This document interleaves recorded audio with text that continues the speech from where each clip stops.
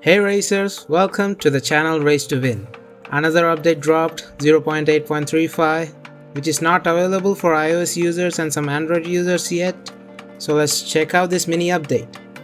First things first, the Joe's Workshop has got a new car, the Mercedes 190 Evo 2.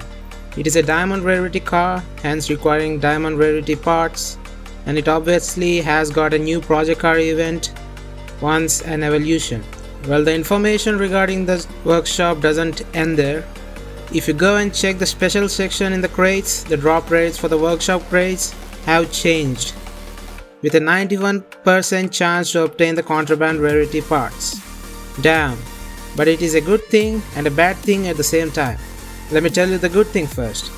I was able to get the McLaren F1 car and all the contraband rarity parts to restore the car only for under 15,000 gold. Yes, you heard that right. Only 15,000 gold to get a contraband car. It costs around 5000 gold to install the parts as well. Click on complete and there it is the McLaren F1.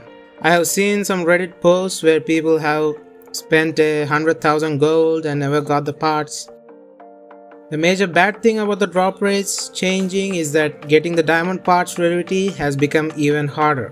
There is this new event background appearing randomly as a loading screen.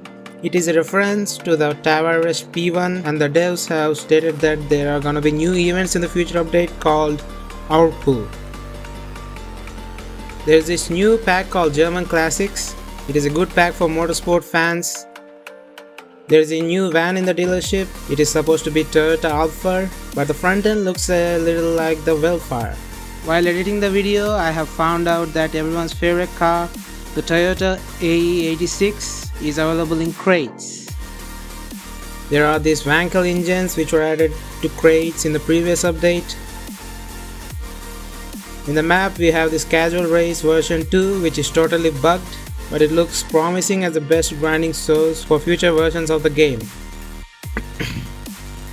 there is a new spoiler called GTC T-Spec. It is big. And I almost forgot about the new avatar customizations. And that is it for this video guys. Make sure you join my discord server. Link is in the description. Leave a comment if you have any questions or suggestions. Subscribe to the channel for more Apex Racer content. Continue building your cars and keep racing.